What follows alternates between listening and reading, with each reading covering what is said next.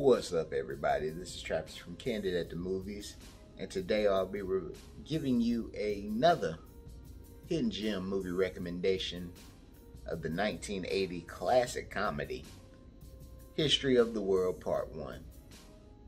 This movie is done by Mel Brooks, and he's got a star-studded cast like Dom DeLuise, Richard Pryor. It good lord, there's so many people in this movie, like I can't even remember them all. Basically, this movie is, if you've seen Mel Gibson documentaries, it's about making fun of whatever time period he sets his mind to talk about. And with this one, we're making fun of the Ten Commandments.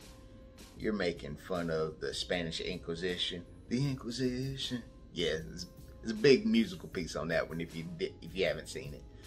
Um, you're talking about Moses, you're basically going in on every period you can and it's hilarious. They even go at the cavemen and make fun of them.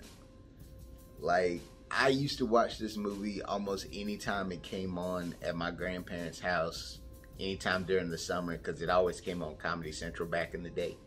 Yeah, back when they used to show movies. Like I always caught it in parts, and a couple on the rare occasions I saw it all the way through.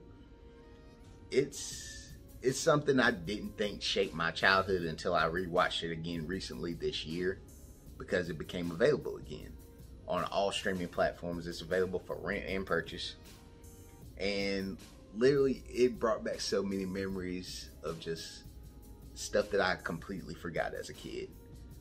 The classic line, it's good to be the king. It's good to be the king. Came from here. And my favorite thing with Richard Pryor, they're asking him where he's from. He's like, Ethiopia. What part? What part? 125th Street. 125th Street. Like, little stuff like that is hilarious. I think more than anything, this comedy works good for right now.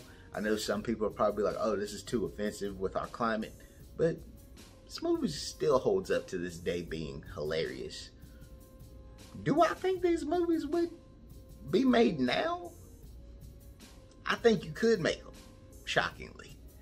I think you could do these movies justice, redo them if you want to, or just have them play back in theaters again. These, these things are great.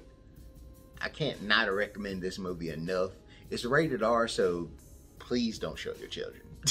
if they're, if you've got like some older teens, you can maybe throw them onto this one, but don't, don't show your kids. You, the 80s were wild. The, the 80s were wild. Y'all know they were. I feel this movie is something every person should check out at least once in their life. Especially if you love Robin Hood Men in Tights. It's the same Mel Brooks type of comedy, Spaceballs. It goes right in line with that stuff. I mean, there's so many mov- so many movies that have got off on this type of humor to where you have to go back and respect this. Have you seen History of the World Part 1? Comment below, let me know if you've seen this. Subscribe to this channel. We appreciate all of you that are already subscribed. And the people that are checking this channel out and haven't subscribed yet, go ahead and subscribe. We free. Come on, we ain't got no little charges out here. It's free out here. Let me know if you've seen this movie. Let me know your favorite quotes from this movie if you have seen this one. By all means, I'm Travis. Have a good one. Peace out.